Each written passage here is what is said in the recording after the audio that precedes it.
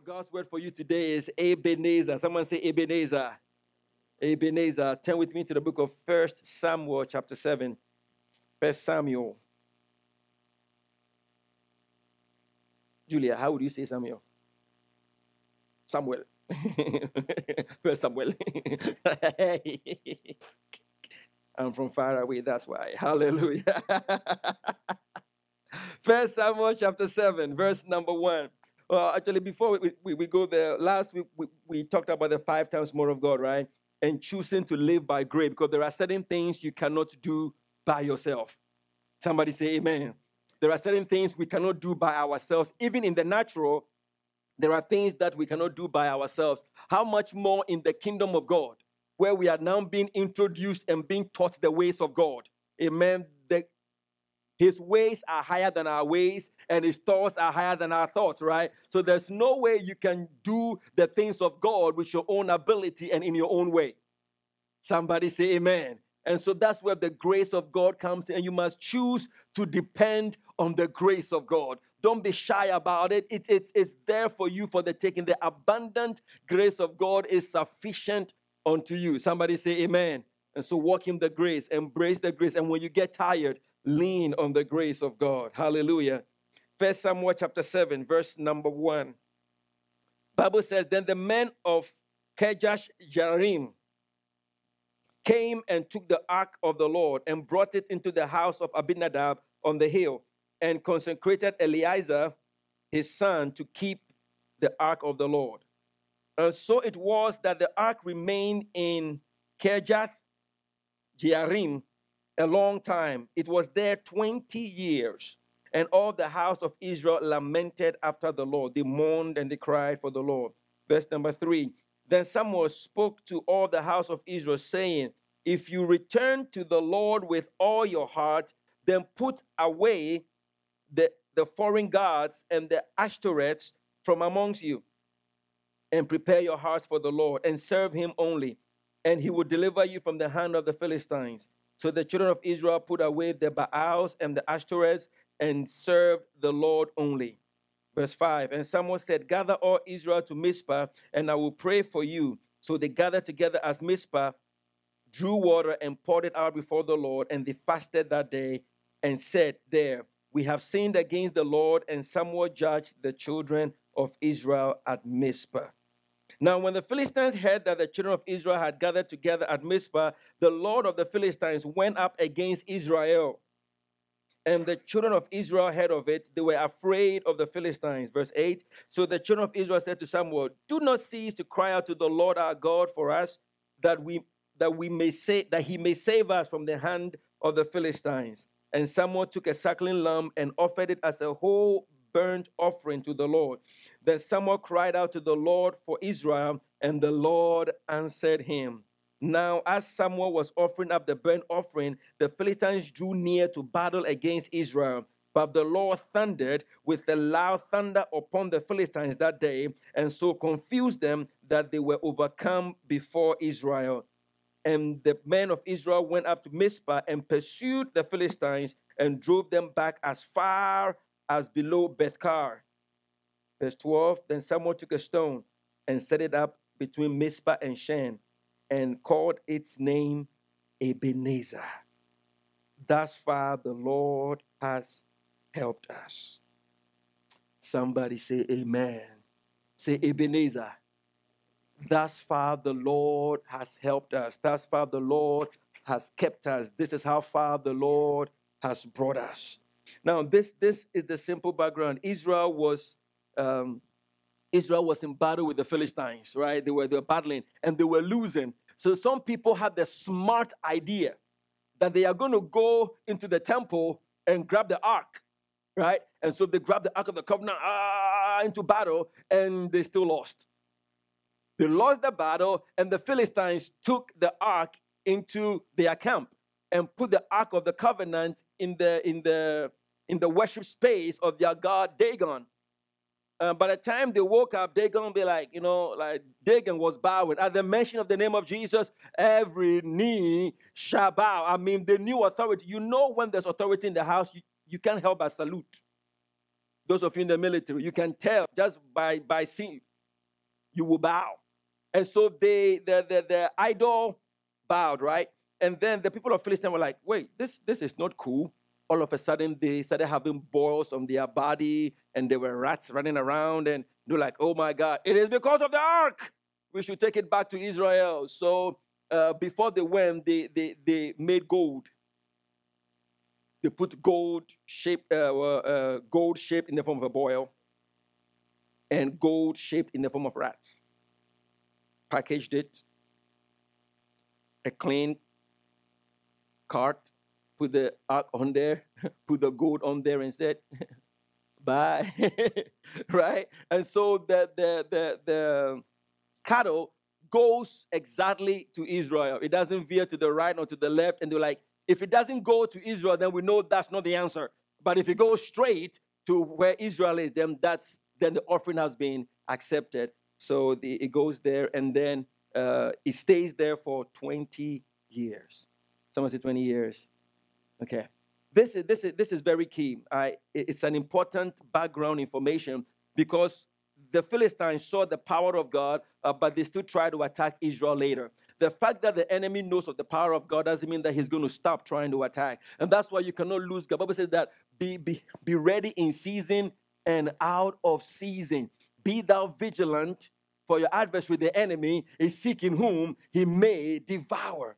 So you must be diligent to be sensitive and aware of, of what the enemy uh, plans to do. Um, but when they when they took the Ark of the Covenant into battle, you see, they they they did not remember um, that actually only the priest could do that. Okay, um, but but beyond that, they you can be near the ark, you can carry the ark, um, but not experience the power of the ark. Because the power is not in the ark, the power is in the presence of God that came when the sacrifice was given. The power is in the presence, not in the activity or not in the object. And so that's what Paul says that having a some are having the form of godliness, but they deny the power thereof. You can look like the ark, you can behave like the ark, but without the presence of God, it is incomplete. Somebody say amen. Is it possible that some of the victories that you are expecting in your life are not manifesting and because you are having the form of godliness and not a genuine pursuit of God? You are not seeking God and you are doing the natural things of man. Because our year of knowing God, like I, I keep repeating myself and I will keep doing that, it's not in our righteousness, it's not in our busyness. There are people that are busy doing things in the house of God that don't know God. Somebody say amen. And so we will not be as such people. We will be people that know our God and understand his protocol and what to do. Now, interestingly, in that same passage, uh, when, the, when, the, when the ark came back to Israel, the people there were like all excited, right? And the Bible says, and the Lord struck them, and 70 of them died. You know why? Because they looked into the ark. Only the priest touches. Remember, uh, is it Uzziah? Touched it. He was doing a good thing. He was trying to support it. Protocol. Someone say protocol. In a year of knowing God, we are going to know Him. We, we, are, we, are, we are going to study how He operates. Because these are the guys who have seen the ark the whole time. They know the ark is there and they worship in the temple and they do, but they did not know they are God. They were in the presence of it, but they did not have an understanding of what it means. Let's not be that people. Somebody say amen. All right, First Samuel chapter 7. First Samuel 7. Let's go to verse 1.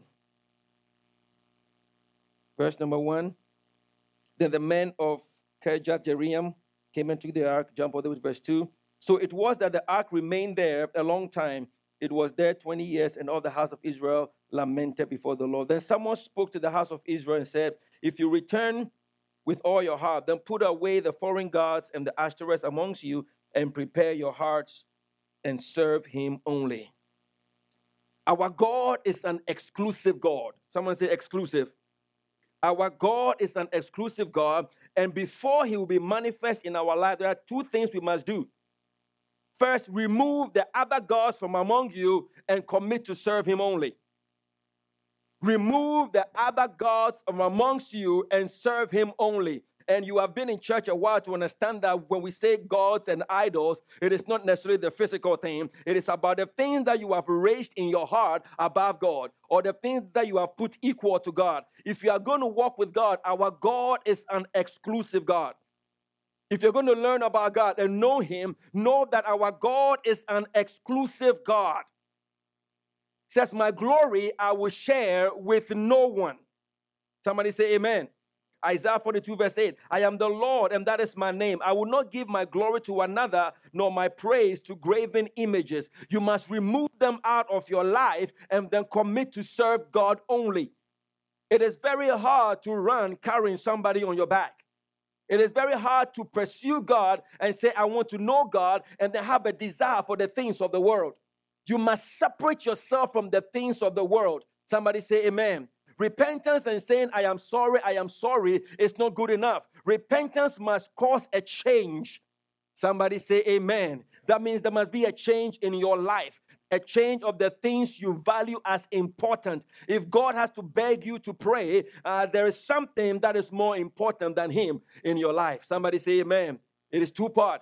Take the idols out, get rid of those things, and then commit to serve Him and Him only. Somebody say, Amen. Matthew 6:33. But seek ye what? First, the kingdom of God. He must be proton. Proton is first. He must be first, first, first, first. God must be what? First. He must be the most important in your life. God must not be prominent in your life. He must be preeminent. Big difference. Prominent means he has a big part. Preeminent means he has the first and all parts. Somebody say amen. Otherwise, we will have a form of godliness, but deny the power thereof. Oh, also, think about the things in your life that, that you love that are fighting against God, that are fighting against the anointing in your life. Oh, God, use me. Oh, God, cause me to go forward, but you are not letting go of the idols. You are still holding on to them.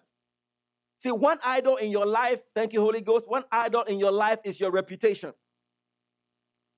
You love your reputation. The way people think of me, the way people see me is very, very important. Listen, you when you come to Christ, you lose all reputation. Somebody say amen. You have no listen, you are supposed to hang with the lowest of the low. Jesus hung with the prostitutes, hung with the tax collectors. Listen, he lost everything. So you can't keep your reputation and talk about I'm a new man in Christ. Are you a new man or you're an old man? If you're a new man, then you must put off that idea of my reputation. Some of you will not even kneel down in worship because of your reputation. You will not lift up your hands. Even at church, you will not even do that. When you are at work and the Holy Ghost stirs up something inside of you. Let it out. Glory be to God. I'm, I'm at school and I'm teaching, and a song comes and I start singing. Amazing grace, how sweet the sound. I'm saying, listen, lose your reputation for Jesus. Lose your reputation for the sake of the kingdom. I have count all things by what lost that I might know him as a Pharisee, as a lawyer, as a Roman. All of that I have lost so that I might know him. So don't care what anybody thinks. Get rid of those idols. And some of your friends are your idols. Mm. Some of you, Shonda, la la la, ta ta ta, amen. Some of your friends in your life are, are idol because they keep you, you worship them. I cannot do anything without you. Don't leave me. You are that you are no without you nothing. I, I need you in my. You, you need Jesus. That's all you need. And with Jesus in your life, everything is well. This is my firm belief, and that the answer to everything in life is in the presence of God. Get me into the presence of God and leave me there. I will come out made whole, answered, and delivered. The answer is in the presence of God, it's not in somebody or something. Somebody say, Amen. And for those of you who are married, your spouse is not your God. Mm. Oh, but I have to spend time with. Let's. I got to spend time with Jesus first. And actually, they want you to spend time with Jesus first because if you don't spend time with Jesus, you are crazy and you are ornery. Somebody say, Amen. You know yourself. You need to pray and seek the face of God. And so, wives or husbands putting pressure on each other, the first thing you must demand of your husband is have, have you prayed? Not, not spend time with me. Go pray because when you pray, there's peace in the house. When you spend time with God, you are you are you you are more lovable. Mm. And and uh, man, this is husband and wife. Amen. There's a difference in the atmosphere when we worship. When we are praying and seeking the face of God, laughter comes out of nowhere. But if, if you are not spending time with God, the house is always sophisticated, choked, you can't breathe, everything is. You can cut the tension with a knife because the presence of God is absent. So stop putting pressure on each other. Spend time with me is important. Okay, I'm, I'm not saying it's not. But the most important thing is spend time with God. And then they will come and, and, and, and, and when they are sweet talking you, hey, baby, hey, sugar plum darling, you know that that sounds like God. You hear me? It has a different flavor to it because you know it's coming from a place of connection to God. I don't want you to flatter me. I want to hear from God. Somebody say amen. So it is impossible for you, mm, hear this. It is impossible and it, it should not be for you to have a polygamous relationship with God in it. A polygamous.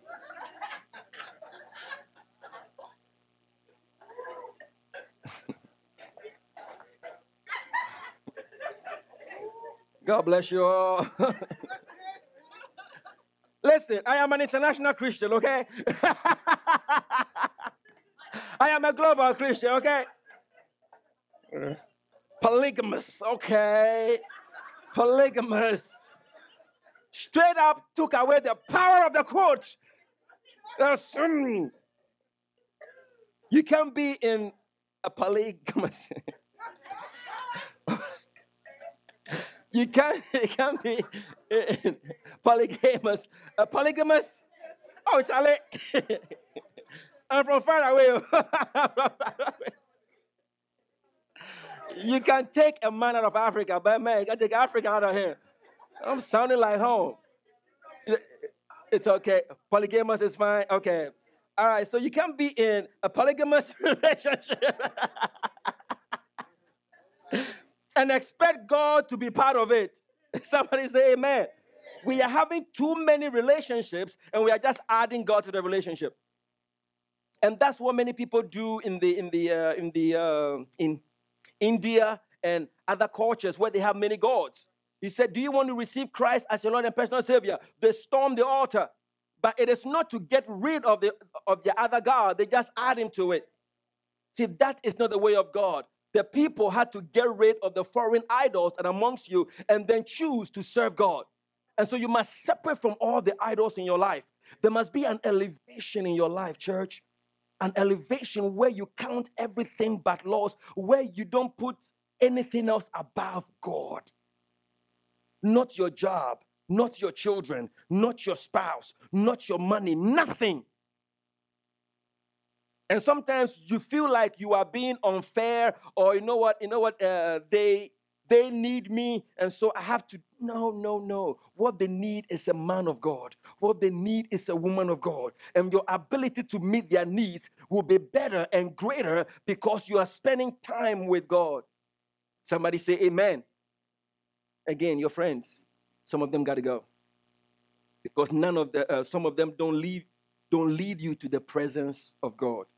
Your TV shows, some of them got to go because the very things you are learning from them is in conflict with what God is speaking to you. And you leave confused.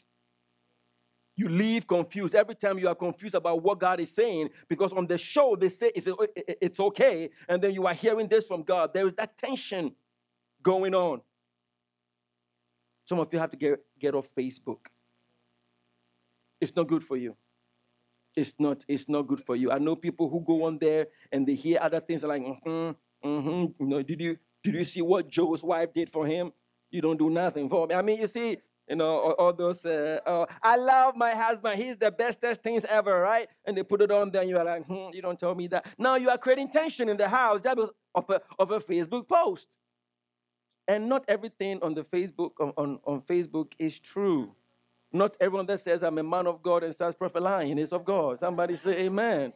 Because anybody can use charisma and speak anything. Oh, yeah, that sounds good. Don't, don't fall for that. Okay, now Facebook is a tool. You can use it to share. Is that anointing? Something hit you? but it's, it's, it's a tool that, that can be used for the kingdom of God.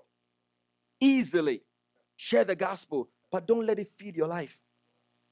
That you spend so much time in there that you, you haven't prayed. Some people wake up and the first thing they look up is their phone. And you teenagers, their phones are on. They feel obligated to pick up the phone at 2 a.m. Mm, is that not true? Mm-hmm. And they set it in a way that the phone flashes light. It's no longer the sound, it's the light. So the light wakes them up. That's, that's an addiction, not of God. Amen. So stay off faith. But whatever it is, separate yourself from the idols and commit to God because our God is an exclusive God. Someone say exclusive. He does not like polygamous relationships. Somebody say amen. Let's jump to verse number five. And Samuel said, Gather all Israel to Mizpah, and I will pray to the Lord for you. So they gathered together at Mizpah, drew water, and poured it out before the Lord. And they fasted that day and said there, We have sinned against the Lord. And Samuel judged the children of Israel at Mizpah. See, Bible says that they, they drew water and poured it out. That was a sign of repentance. It's digging out the water. That's my heart. I pour out my heart before you. So the same way they throw dust into the air, you know, ashes and put it on them and wear a sackcloth, it was a sign of repentance. They were uh, pouring the water out and then and then pouring it out. Somebody say amen. And so it was symbolic of them repenting. Repentance is very important to access the presence of God. Continual repentance is critical to access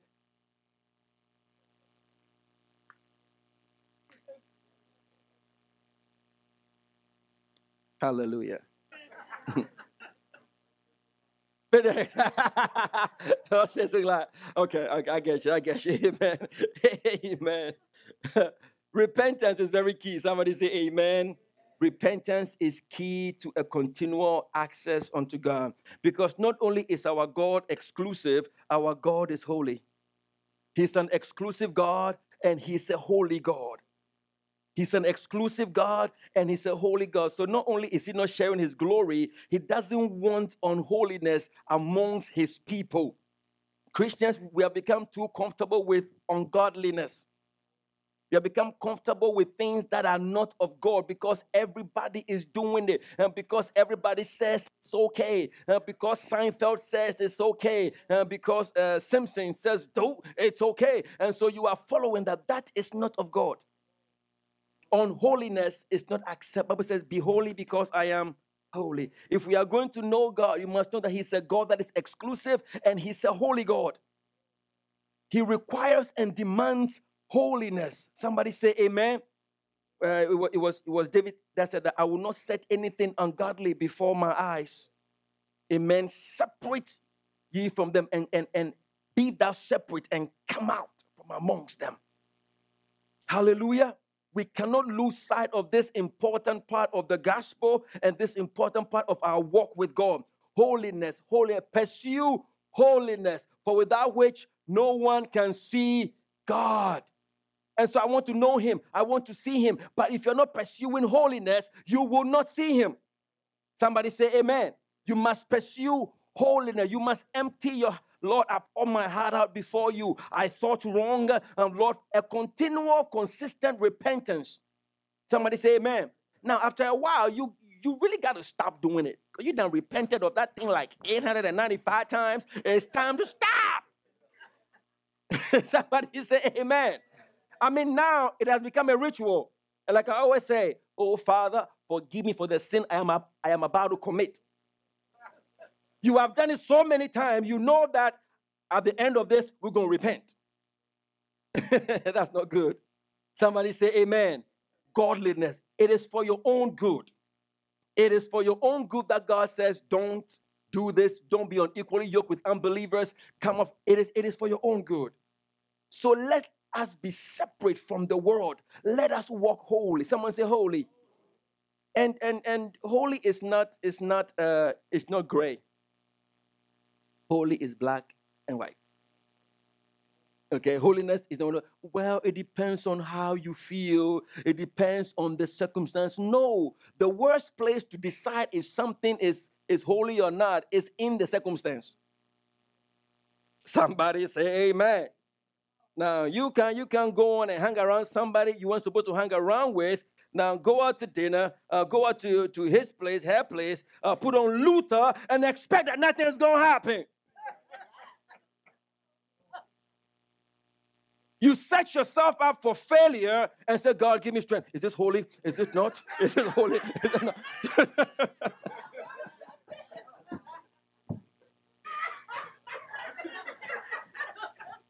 Here. Oh my God.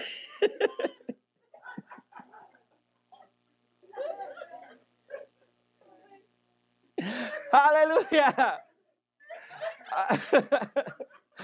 Don't set yourself up and then expect to overcome it. Amen.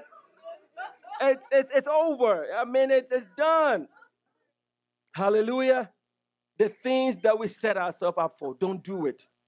And especially when it comes to things that are ungodly that have, have been happening in your life, you can smell it a mile away. You know when the enemy is about to set you up. Don't, don't keep falling for the same thing. Pursue holiness. Turn around and run.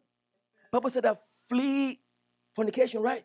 Flee. And my definition of flee is running and somersaulting and flying through a small hole at the same time. I mean, I got to go. I mean, book it. Don't be like, well, you know, I pray so I'm strong. No. No, that grace is not sufficient. No, that's that that's going to take you down. Amen. It will it will take you down. So run. Someone say run. Because you are pursuing God and you are chasing after God, you can't afford to have the enemy contaminate your life.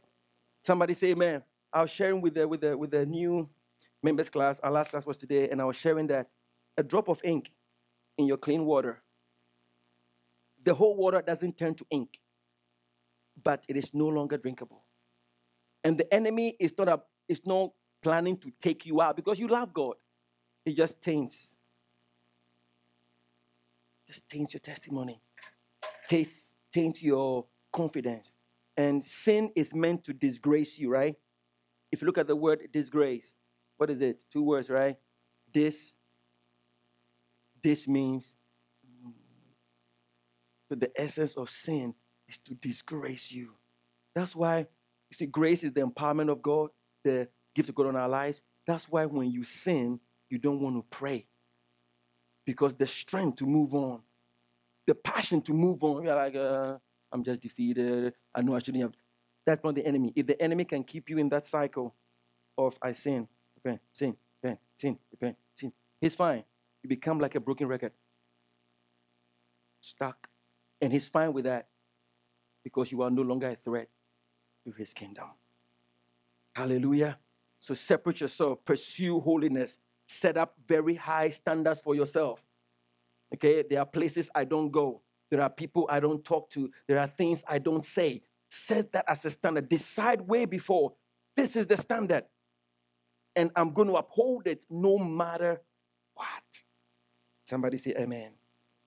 Verse number seven. Now, when the Philistines heard that the, the children of Israel had gathered together at Mizpah, the lords of the Philistines went up against Israel. And when the children of Israel heard of it, they were afraid. And then Samuel says, you know, and he told Samuel to pray. He prays and he sacrifices. Someone said he sacrifices. The enemy is very, very good at attacking something at, at its infancy. And I shared this with you when we talked about redeeming my childhood. The enemy goes after people when they are children. He goes after your vision when it is small. He goes because it's quick, it's easy to crash it, and it goes fast, and the impact is greater. Train up a child in the way that he should go. When he grows, he will not depart from it. So, whether it is good or bad, I can train something up, and when it grows, it will not depart from it. So, the enemy attacks things when they are at its infancy. And so, this is them. They have repented. You know, they're just, you know what, we are coming back to God. And the Philistines are like, we are about to attack. The enemy, now that you are going to that next level of pursuing God or fulfilling your, your calling and your destiny, the enemy says, Oh, oh, man, you were cold, but now I feel some heat coming from me. Oh, okay, so now you go and pray. So expect an attack of the enemy. It's better when you expect it because you are equipped. You're like, you know, I know he's coming. You watch and you pray. You open your eyes and watch and pray. Be sensitive it is when you are all caught up in, oh, I love Jesus, I love Jesus, and then bam. You know, when it came to uh, Nehemiah, when they were building the wall, what did they have in one hand? A sword in one hand and a trowel in the other. When it came to Gideon, those who were sapping with water, watch, be alert. Somebody say amen because the enemy is plotting an attack. And I hope you all know that the enemy doesn't like you. Amen. There's no negotiating with the devil. Amen. Devil, I didn't pray yesterday, so leave me alone. No, no, no. There is no negotiation going on. The enemy's plan is to what? Steal, kill, and destroy. That hasn't changed. He's like a scorpion. He can't help but strike. That is his very nature. And so you must expect that now that you are pursuing God, it is okay when you begin to see attacks coming at you. I, I, I felt uh, such an attack at school a few a few days ago, and I was like, oh, okay. And I just I just I just uh, I responded back to my boss. This is nothing but a devilish attack on what I'm doing. Because I know I'm changing lives. God is moving. Kids are coming to Christ. Kids are growing in Christ kids are having their minds renewed. And I know that, and the devil is like, oh, really? Oh, so you are going to change um, the course of direction that I have for their life. And so, all, this complaining, he doesn't do this, he doesn't do that, you know. Mm, can't touch this. Ah, no, no, no. I'm of God. I'm there on a mission. And I have lost all reputation. I, I, I don't care what you think about me. I'm not going to stop doing what I'm doing because you don't like it in the eyes of my God, you are nothing. Hallelujah. But expect it. The more you are spending time with God, expect people start to call you names on the job. Expect your boss start complaining about things that don't involve you at all. You're like, where is this coming from? Christians are normally flushed when they're like, you know what? How can I be serving God and the enemy is attacking me? What did you expect? I mean, seriously, what are we expecting? You are chasing after God. You, you are getting stronger in God. You are bringing that power from the presence of God into your marriage, to your children, to your job. And you expect the enemy to say, Oh, I don't care. He cares. He doesn't roll over and play dead. He will fight back. Somebody say amen. To understand that you are in spiritual warfare. These guys were just happily repenting. Lord, we are emptying ourselves out. We are just going to serve you. And in the corner, the Philistines are plotting to attack. You are in a spiritual warfare. That is your calling. And come on Fridays, we'll train you how to fight proper. Amen. Irene, is that good enough? Is that a good plug? That's a good plug. Amen. That's a good plug. Hallelujah. As you grow in knowing God, watch out for the plots of the enemy. Rejoice and do not fear. Now, what did how did how did Samuel respond? Verse number nine. Verse number nine. And someone took a suckling lamb and offered it what as a whole burnt offering to the Lord. Then Samuel cried out to the Lord for Israel, and the Lord did what? Answered him. The Lord heard him. Our God is an exclusive God. Our God is a holy God. Our God is a prayer answering God. Somebody say, My God is a prayer answering God. Say one more time, My God It's a prayer answering God. My God answers by fire. I tell you, my God answers prayer. When you seek Him with all your heart, He will do what He has said. He is faithful unto His word. Somebody say, Amen. Our God answers prayer. And I want to encourage you in this. And this is and this is a quote from my from my from my seniorest brother, Pastor Prosper Asamoah. He said, There is no place for sacrifice, there is a place for sacrifice that prayer cannot cover. Now I was like, huh. huh. There's a place for sacrifice that prayer cannot cover. We have misunderstood the verse that says to obey is better than. So we have stopped sacrifice. It says it's better than. It didn't say sacrificing was wrong. There's a place where sacrifice can get to that prayer cannot. Because prayer is about you communing with God, right? God gives you insight, and we talk back and forth. Koinonia, there's fellowship. But sacrifice is a commitment on your part to follow through. And so you are praying, oh God, uh, uh, thank you for my harvest. Uh, I see the cornfields. It is overflowing. Oh, the harvest is coming in. But you are refusing to put corn in the ground. Prayer is powerful. But if there's no sacrifice, why do you think they sacrifice all the time? Why do you think that God tested Abraham and said, Abraham, sacrifice your son? Wasn't Abraham obedient? He left his father's land. Has he not been working with God the whole time? So why then is God demanding a sacrifice? Because sacrifice means your heart is going to come. It is not about money. It's that money is attached to your heart. Or if I dare say, money is one of the idols in your life that you must put away and seek God. You have been chasing after money, chasing after money, chasing after money. And so now you cannot even sacrifice it because you are afraid to lose it. Now I always say broke is relative. Somebody say amen. That is biblical. I'm just kidding. Broke is relative. Somebody says I have two million dollars and oh my God, I'm oh no, I'm losing it.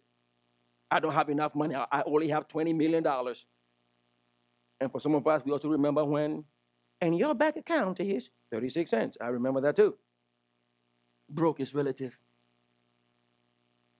You can't keep chasing after money. But I want to challenge you to a place of sacrifice. Someone say sacrifice. Listen, I'll go there. Married people, those who are seeking to get married. There's a place where you can pray and pray and pray and pray for your spouse. Then there is that time where you get on your knees and wash their feet. You can pray all you want, but if you are not sacrificing, you will not see the fruit of it. And that's how spouses get mad at each other. You pray all the time, but you never change. Hmm? I'm praying for you. Keep praying for me because you need it. Sacrifice goes to a place that prayer cannot because sacrifice is, is, is a full time commitment. Somebody say amen. That was the the conversation between the pig and the chicken. A guest came to the house, and the and the chicken says, uh, "Let's let's give him breakfast." And the pig says, "It's easy for you to say. for you, it's just a little bit to to give an egg. To me, it's a full time commitment. Bacon, he has to die to give him breakfast." all the chicken has to do is drop an egg and still living. Amen. Go with sacrifice. Listen, sacrifice provokes the heart of God. Sacrifice will provoke the heart of God. Listen, let me let me let me let me let you into this secret. God told me that Moses, my wife Delali, she's amazing. Someone say amazing. Thank you, thank you. God chose well. Amen. God said that Moses, because of your willingness to sacrifice your degree, in order to obey me, she's the first fruit of your sacrifice. If you are not willing to sacrifice of yourself, always this idea of self preservation, it's a demonic concept. I got to watch out for myself first. I got to take care of myself. Listen, it is not of God. So we don't share anything. I only have $5. I can help you. When we can get something that we can both share. But that's self preservation. You can pray and pray and pray.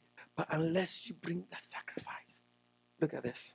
I told you about the Egyptians, right? I mean, the uh, Philistines. Let's go to First Samuel 6, uh, verse 6. Just one verse over, one, one chapter over. First Samuel chapter 6, verse 1. Now the ark of the, of the Lord was in the country of Philistines for seven months, and the Philistines called the priests and, and the diviners, What shall we do?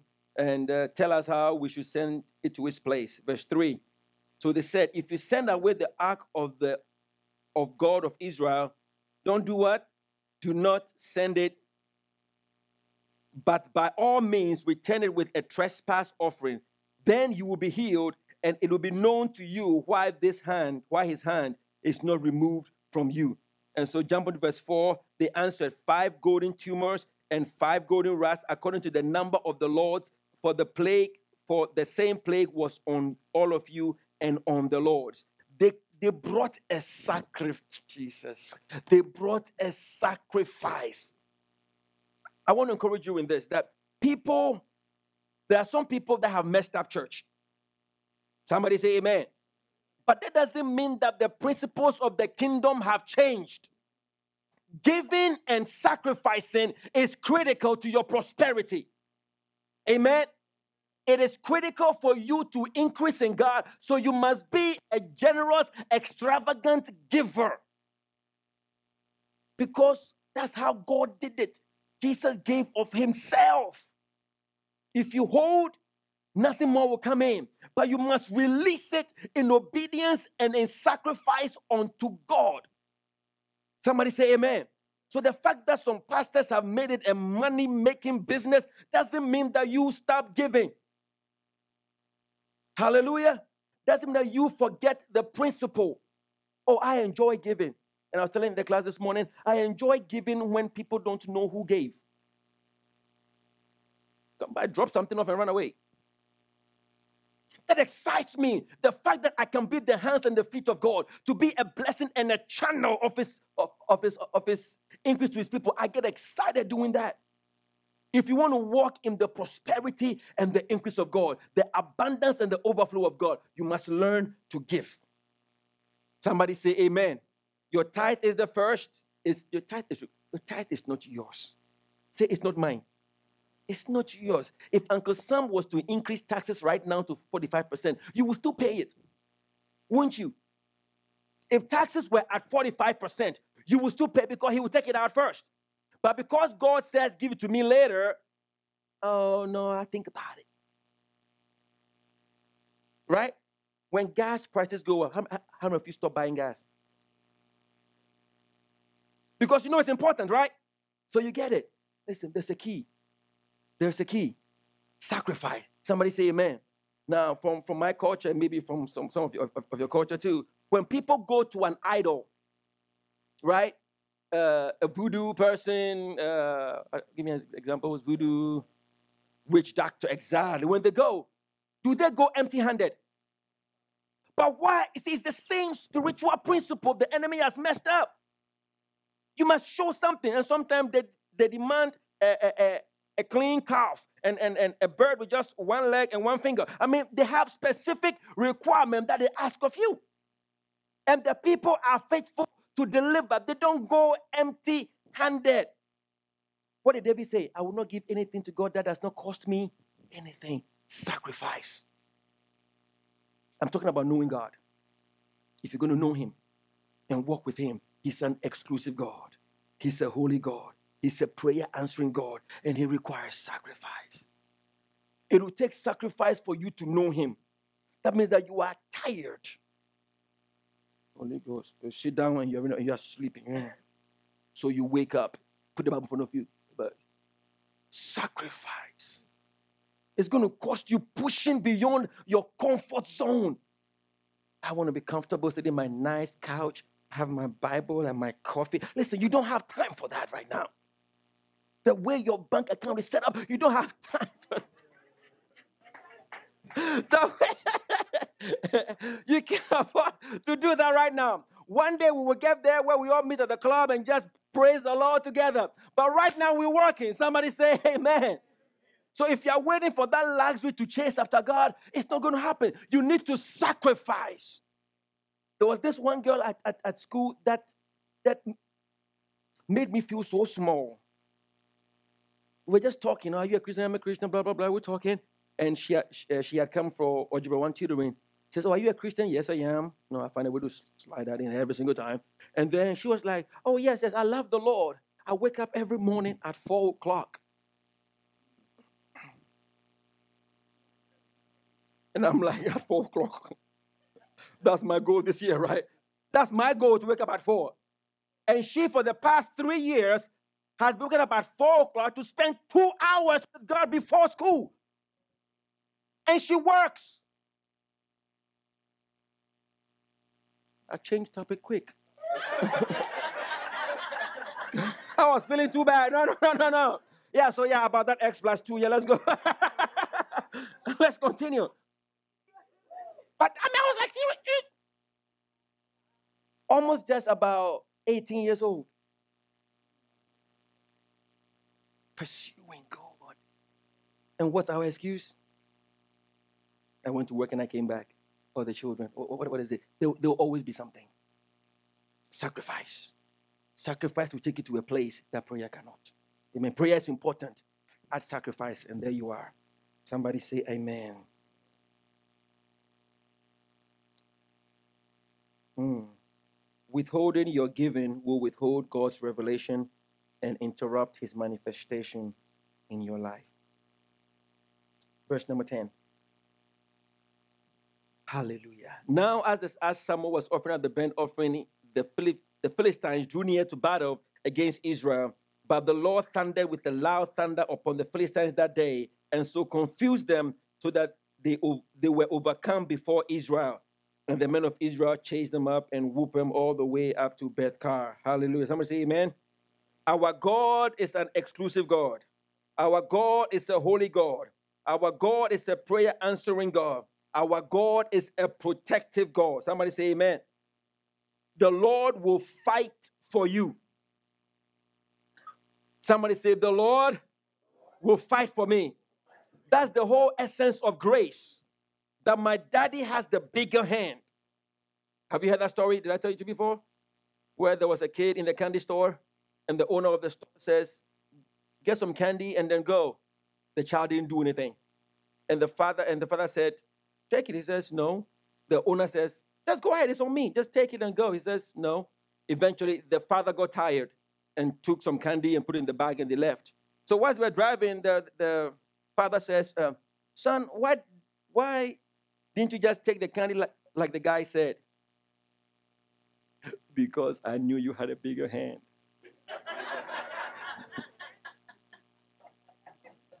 yep. He can only take the small. Daddy. If you want more, let God do the work. Somebody say amen. If you want God to deal with somebody or a situation, let God do it. You stop being in the way.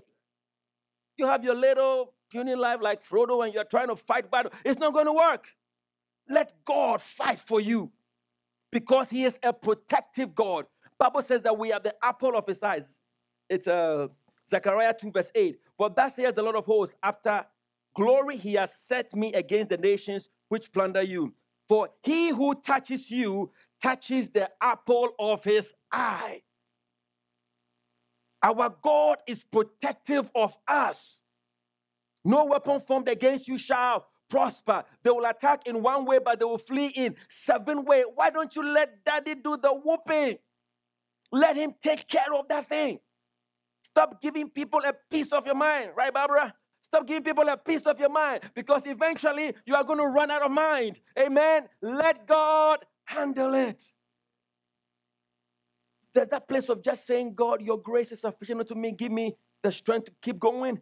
Daddy, I commit them into your hands. And God is like, I have been tagged in. Boom. Tag the Lord into the ring. Tag him in to do battle for you because he is a protective God. Somebody say amen. Psalm 144, verse 6 says, Flash forth lightning and scatter them. Mm. Send out your arrows and confuse them. Isaiah 49 25. I will contend with them that contend with you. Stop behaving like you don't have a daddy. Stop behaving like you don't know the power of God. Because this year, today, you are learning and that your daddy is a protective God. So when somebody messes you up, be like, you know what? I'll be back. Go and say, Daddy, you got I got it. Okay, and move on. You are fighting in the flesh. For the weapons of our warfare are not carnal, but you are fighting carnal battles. For we wrestle not against flesh and blood. So why are you fighting your boss? Why are you fighting people? Make it a matter of prayer.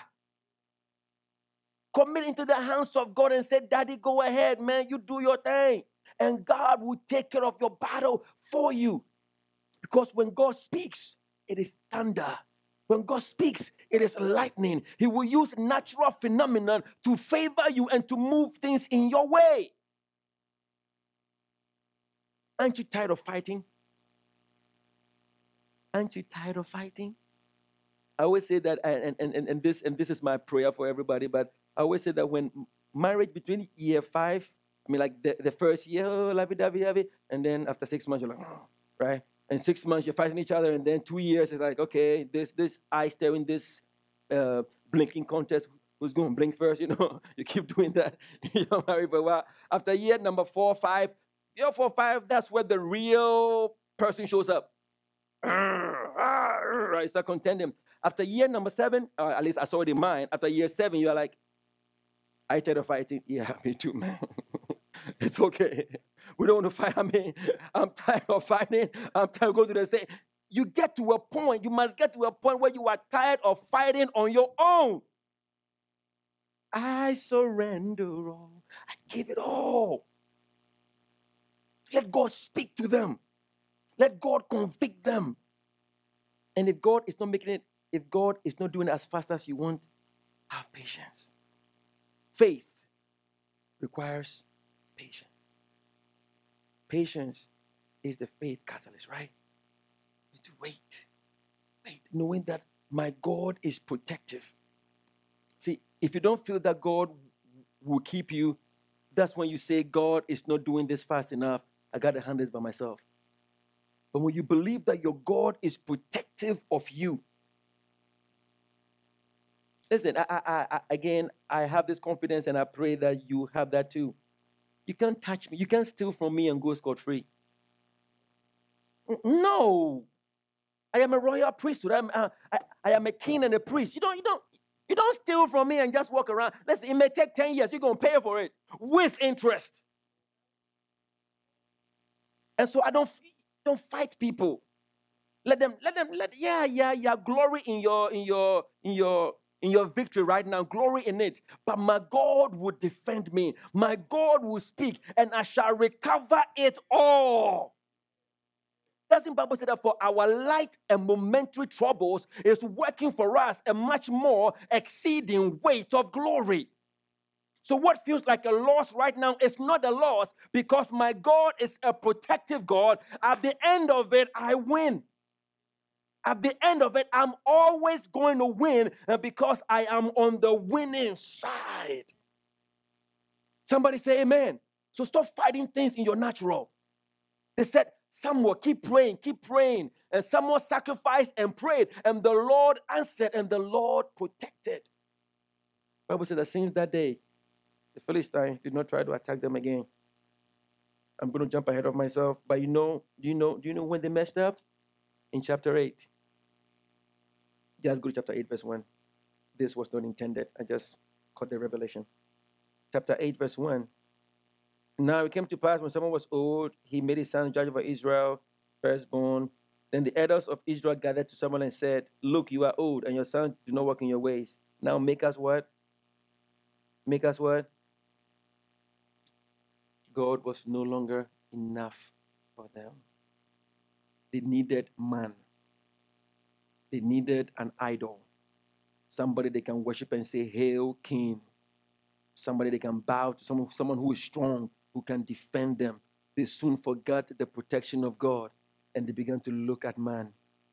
The same thing will happen to us if we have other kings in our lives, other queens in our lives, other people in our life that are contending with God.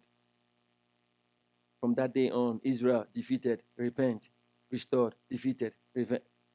The cycle just kept going on and on and on. Hallelujah. Look at verse number 12. Let's go back to um, chapter 7, verse 12. Then Samuel took a stone and set it up at Mizpah and Shan and called it what? Called it what? Ebenezer, Ebenezer, Ebenezer, Ebenezer. Called it Ebenezer. he called it Ebenezer, right? There's a difference between a stone and an altar. Verse 17 says, you know, Samuel goes home and builds an altar. Right now, he took a stone. Remember the stone of, of Jacob, where he poured oil on it and said, The Lord is in this place, and I knew it not. And then he called the place Bethel, right? The house of God, right? So um, he took a stone, planted it down, and said, This is Ebenezer. Thus far, the Lord has blessed us. A memorial. This is Ebenezer. Remember the victories of your God. It is very easy to look at the things of life and say, What has God done for me lately? What has God come? You know what? I needed this and He didn't do it. But you forget the day, the times where He brought about a swift deliverance in your life, a swift victory in your life. Remember those days. Samuel goes home and builds an altar, but Ebenezer is just one that says, Thus far the Lord has helped us. Uh, but I, I, I, I, I would dare be confident to speak this in your life that you have had more than one Ebenezer moment. You have had more than one moment where you can say, Hey, oh, I'll be like Simba, Aish, Aish, thus far, the Lord has delivered, how far the Lord has helped me. And I believe that if you will go back and remember all of those things in your building of your relationship to God, in trying to know God, in seeking to know Him, remember your Ebenezer. Remember the days of deliverance on your job, in your body, in your mind, in your emotions, in your deliverance into, into Christ as salvation. Remember all of those Ebenezer moments. And I promise you, if you do that, it will be enough to build an altar. Ebenezer, Ebenezer, Ebenezer, Ebenezer. Even the rocks that your enemies threw at you. Well, God caught it. Thank you, Lord. Ebenezer. Build it all. Every attack, every situation. Build an altar because the purpose of an altar is as a sacrifice, but also so that when your children ask, when your children ask of you, what was that for? You can tell them, those are my Ebenezer. Daddy, why do you worship so much? Mommy, why do you pray so hard? You show them the altar and say, Those are my Ebenezers. The God I know has given me every stone of Ebenezer that is that you find on that altar. Build an altar. Don't be ungrateful and soon forget what the Lord has done. He's a holy God, exclusive God. He will defend you and protect you. But I tell you, there are some victories that you didn't even work for. He just gave it to you just because. Remember Ebenezer. Thus far, the Lord has brought me. Thus far, the Lord has helped me. And build that altar that your children will say, This is the doing of the Lord. Somebody say, Amen. I have a last scripture for you. First, First Thessalonians, verse 5. I know you are not fully where you want God to, where, where you want to be but I challenge you to celebrate where you are right now. Oh, somebody give him praise right now. Come on, give him praise right now. Thank you, Lord God, for where I am right now. Thank you, Lord God, for where I am right now. Oh, just celebrate. Open your mouth and just say, Lord, I thank you for where I am right now in the name of Jesus. And that I just find myself in your house. Uh, uh, Lord, you are moving me forward, oh God, on the job. Uh, I thank you, Lord God. I'm not where I desire to be, but I am sure grateful for this moment of Ebenezer. You have brought me far. Thus far, the Lord has helped me. Celebrate it. Celebrate it don't get so loaded up with, with the fears of life that you forget the goodness of the Lord. Our God is a good daddy. Our God is a good God. He's a mighty God. Hallelujah. Last scripture. First, First Thessalonians chapter 5, verse 23. This is one of my favorite scriptures. First Thessalonians 5. Let's begin in verse number 23. Bible says, now may the Lord God sanctify you what? Completely, right? I like the King James. Oh no, this was the amplified. May the Lord God sanctify you through and through. Ooh. And may your whole spirit, soul, and body be preserved, blameless at the coming of our Lord Jesus Christ. May the God of peace sanctify you through and through, sanctify you completely because you are the apple of his eye. You are special to him. Listen, we are we, yes, we are all broken in many ways that God is putting together. And so don't don't don't judge me for my brokenness. Amen. God is working on me. I celebrate where I am right now because I did not been for the Lord. Bible says that my foot almost slipped. Had I not considered that I would see the goodness of the Lord, my adversary, you pushed me until I nearly tipped over, but the Lord helped Celebrate what God has brought you through. He says, I will sanctify you through and through and preserve you what? Your spirit, your soul, and your body blameless until the coming of the Lord. And now verse 24, and this is where we end. Verse 24. He who calls you is faithful, who also will do it. Faithful is your God. Faithful is your God. He is faithful who has called, and he is faithful to do it. Faithful to keep you from the Philistines, faithful to, to, to answer your prayer when you seek after him, faithful to defend and to protect you, faithful to receive your sacrifice of praise. Come and say with me, the Lord is faithful. He is faithful to me. Just take 30 seconds right now with every eye closed. Just, just meditate on that. Faithful is he who was called, and faithful is he who will do it. When the enemy attacks like a flood, he will lift up a standard against him. Yet though I walk through the valley and the shadow of death, I fear no evil, for my God is with me. I have never seen the righteous forsaken, or their seed begging for bread. Faithful is he who has promised, and faithful is he do it. Get rid of every idol. Our God is too good to share him with any other idol. Our God is too faithful for us to share him with somebody else. No more cheating on our God. He's exclusive. He's holy. He's a prayer answering God. And He's a God that defends His children. Remember that. Remember. Faithful is he who has called. Faithful is he who has called. And he would do it. The Bible says, though we are unfaithful, yet he is. So not in your own righteousness, but in the righteousness of God. Faithful is he who has called. And he is faithful to do it.